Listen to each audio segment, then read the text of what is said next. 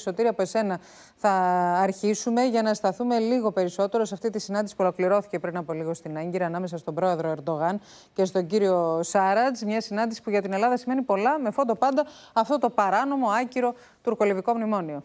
Πραγματικά. Εδώ οι δύο πλευρές νομίζω είναι φανερό ότι ήθελαν να παρουσιάσουν αυτή τη συνάντηση ως συνάντηση των νικητών του εμφυλίου στη Λιβύη. Τα χαμόγελα περίσσευαν στο Προεδρικό Μέγαρο στην Άγκυρα. Ο Σάρατζ γνώριζε ότι πήγαινε στην ε, ε, τουρκική πρωτεύουσα για να συναντήσει ουσιαστικά το σωτήρα του.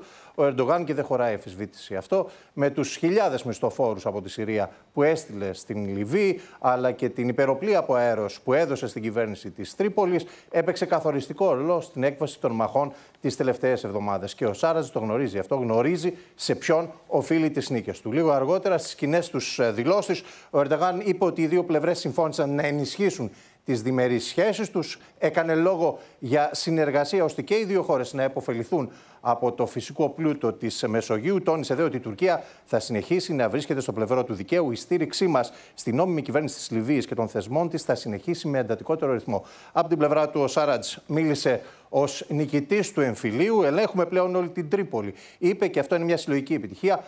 Κάλεσε δε τις δυνάμεις του Χαφτάρ να αφήσουν ήσυχο το λιβικό λαό. Στρατάρχη ιτήθηκε, είπε χαρακτηριστικά. Πρέπει να τα αποδεχθείς. Η ιστορία δεν θα σου συγχωρέσει αυτό που έκανε στη Λιβύη.